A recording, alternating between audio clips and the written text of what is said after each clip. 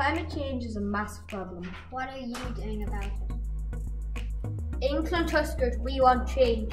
One small change would be to ban plastic packaging in supermarkets. Let's start with the fruit and veg aisle.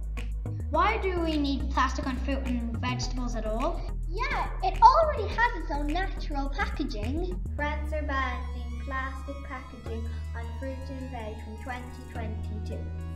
Why can't we do the same?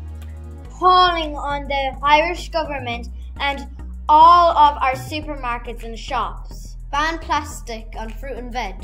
We want change now. Join the campaign on change.org.